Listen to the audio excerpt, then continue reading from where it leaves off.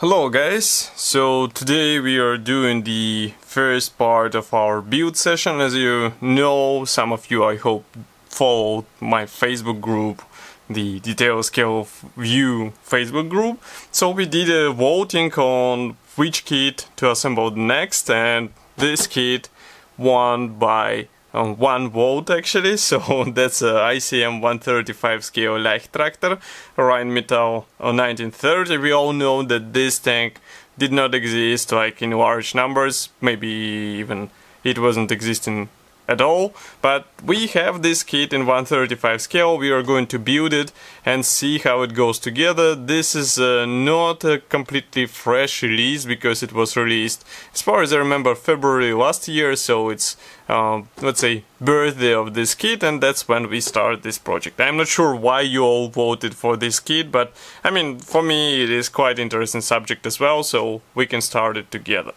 So, as you can see, we have here the standard ICM box. If you would like to check full review, we have it on our YouTube channel. So you can just type in the number of the kit here or type in the name of the kit and you'll be good to go. Just as a side note, I can say that there are 185 plastic parts, which is not that impressive for 135 scale kit, tank kit, but still it will be amazing to see how it goes together. So we have all sprues in one plastic bag, we have assembly manual here, just like in the recent T35 build, we will be doing the uh, cutting and also some gluing stuff off the camera because I have slightly different layout so that's why I can't do it on the camera but I will try to think of how to introduce a bit more interactive let's say, way. So here we have all plastic frames. I guess we won't need the vinyl tracks at the moment. And I also put aside the clear parts because obviously we won't need them as well. So let's open this assembly manual and check what is printed here. By the way, history note, so what is written here? Blah blah blah blah blah blah blah. So actually there were like two prototypes but it wasn't produced as a like mass produced so we can say that it is more or less a real tank. Just let me close the camera lenses so that you won't get the blinding white color. Oh we have decals here as well. We put them aside because these crosses obviously are not needed at the moment. So what do we do first? We get the top hull cover and we start building with it. So let me place the sprues aside. So top hull cover is here, I'll separate it and we'll talk about it in a second.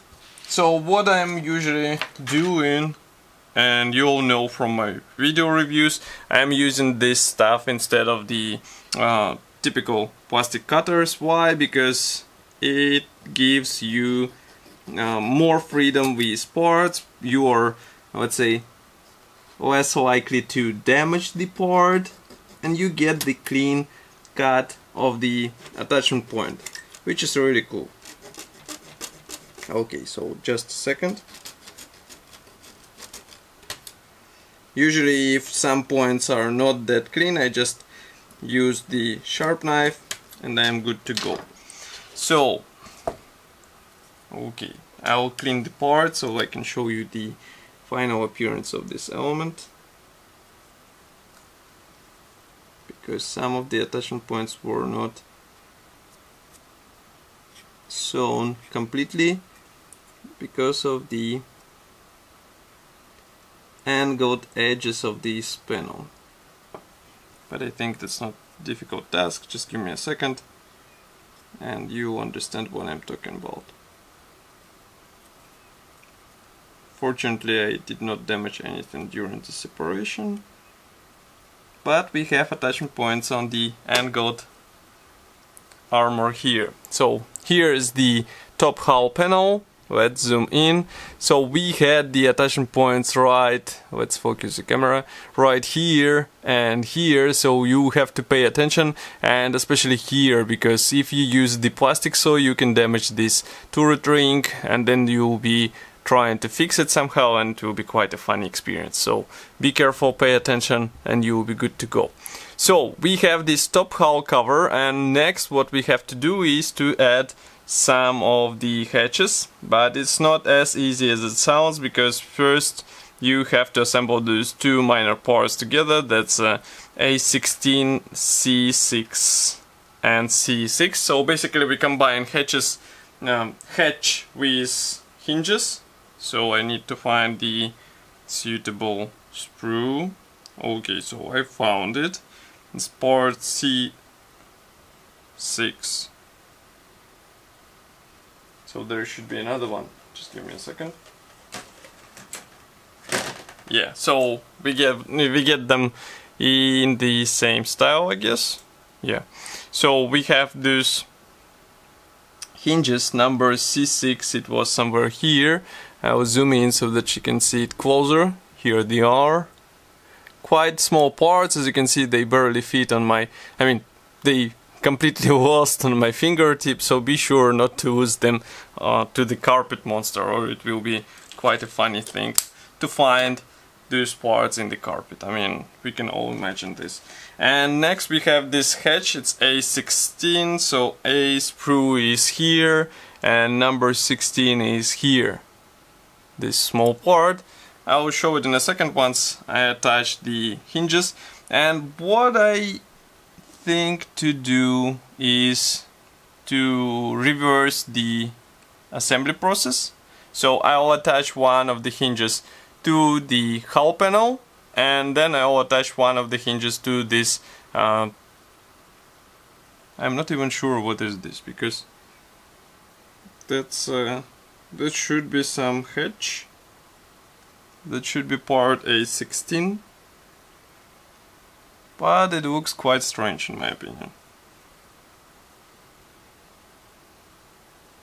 anyway okay so I'll do what I was saying. I'll attach one hinge here and then I'll attach another one on the port and then I'll glue them together. So port C6. Just give me a second. It's really small, as you can see. I think you barely see it in my fingers, in my huge fingers. Nevertheless, I'm going to clean it off and then we'll install it on the hull cover obviously I'm trying to clean it now then I need to understand where it will fit because here we have the ring now some ring drawn but as you can see it is not present here so I'm not sure if it should be Obviously it shouldn't be, but I wonder why it is drawn there. As you can see from another side there is also nothing. So, small node. Okay, so now I need sharp tweezers because otherwise it will be really tricky thing to do. And maybe quick setting glue because otherwise you might have some funny time trying to fix it in the right spot with typical dark green glue from Tamiya. Okay. I mean, we are all using the same glue, so there is nothing to hide. And if you know any good alternative to this, I will be happy to know, write it in the comment section. And okay, so here you can see this part in place, let's zoom in. Here it is and now we zoom out now I need to install another thing another hinge on the hedge. So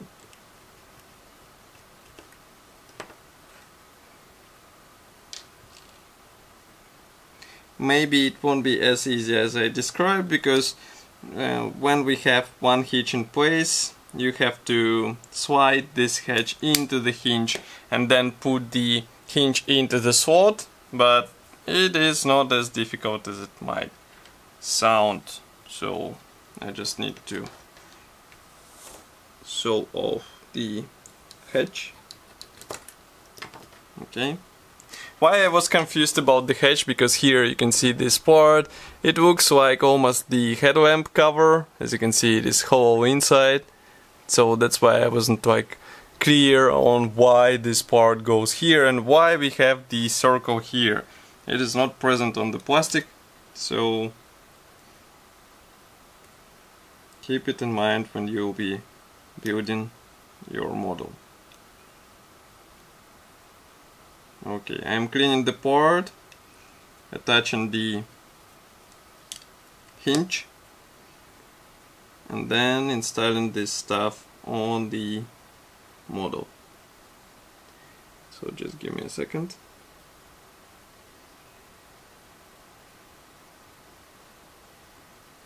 I'm already seeing some funny things because we have the hinge fitment issues. So I guess I will have to use tweezers in order to press it into the hatch so maybe we will continue once I install all this stuff so for today let's consider this is as introductory video and tomorrow we'll continue with assembly of all this stuff together with hull parts Thank you for watching today, thank you for joining this video. Of course, if you like this video, don't forget to press the like button, and I will see you in the next episode. Bye.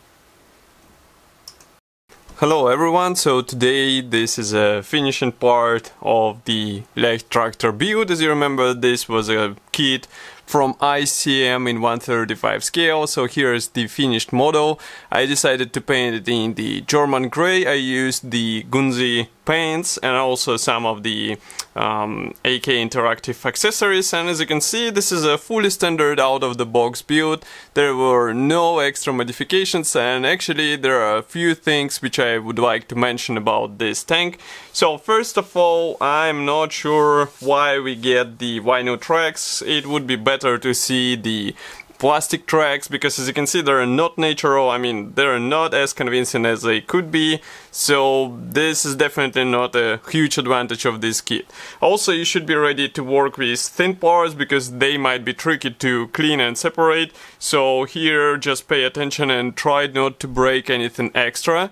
And overall everything fits really nicely all together so I didn't have any problems with fitment and everything went nicely together. The only thing again is the vinyl tracks because here you have to solve it somehow and as you can see it's not as good as it could be. So plastic tracks obviously would be better then I also added some of the extra parts because I mean they were staying in the spare parts box so I decided I have to use them, I have to place them somewhere and I just upgraded for example here I added the towing, um, actually the lifting loop and also the same was done for the turret etc etc so it's just a fine touches and I mean, this is still an imaginary project, so uh, or item, so that's why I was free to do whatever I would like to.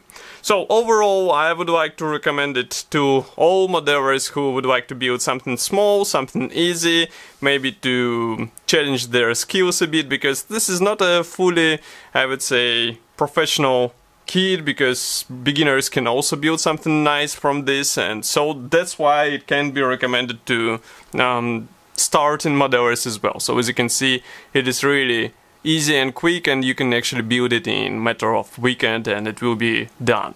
Of course I will be happy to hear your opinion about this build. You can write it as usual in the comment section below. If you like this video don't forget to press the like button subscribe to our YouTube channel and I will see you in the next video review as usual. Thank you for watching and bye!